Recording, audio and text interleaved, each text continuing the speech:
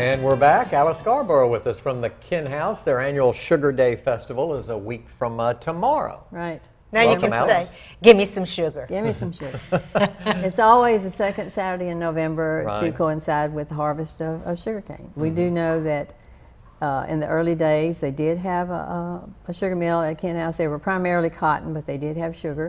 And so harvest always meant a party. So we just carried on that tradition. And they make uh, the, the cane syrup into sugar. Right.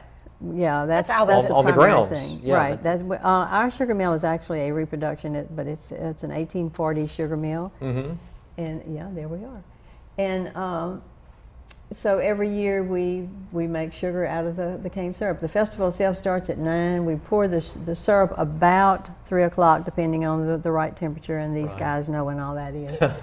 and then depending on the weather, then it'll turn into sugar. Some That is years so it hasn't, but interesting. most most time it Most does. it does. So it- right, we have, well, the weather has a lot to do with it hardening and turning Yeah. into sugar. So- right. So, So it's a bit, it's not only that that's going on. There's, Oh, there's no, a this- lot of other things that right, will be happening on the grounds. this is a uh, typical Louisiana festival. We have music and food, and we're going to have uh, Roscoe Lee and Abity are coming back again. They're pretty much traditional. They'll they'll do the old vintage dancing and do you know everybody loves all that part. So we'll have all that and food, you know, to purchase. But all all of that's going on, that you can smell that syrup cooking all over Oh, yeah. So, And I pretty assume you'll all be in neat- be a good costume. smell. Yes. I lo- that's what's really fun is when they're in costume for the day, and Yes. it really just Well, heightens we, that. Adds House wears costumes every day. S- But yeah, there'll be more of us that day. So That'll be yeah, fun. there's It- lots of demos. and We're going to have arts and crafts vendors, and our, our arts and crafts vendors are, you know, they're kind of different too.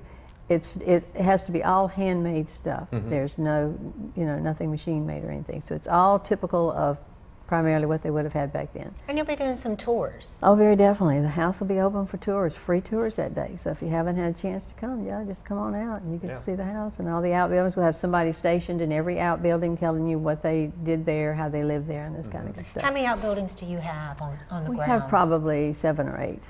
And that's hard to see from the road because Right. you see the house and you don't realize that all these buildings are back there. But we, Right. Yeah. The Sugar Day Festival has been around for a long time, huh? This will be number 23. Yeah. It will be my number 15. Time flies.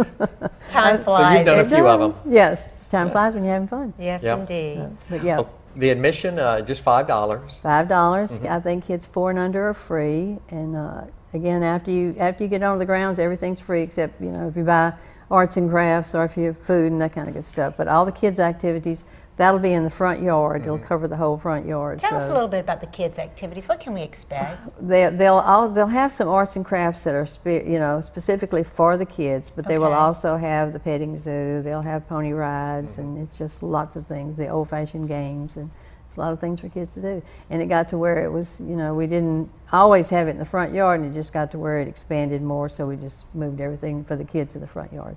So All right. it's Sounds like a delightful day. it's it's fun. It is a lot of Sugar fun. Day is fun.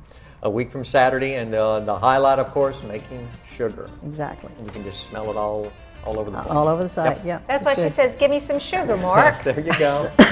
all right, we've got more to come on our show. The Suddenlink Food Drive. We'll tell you all about that next.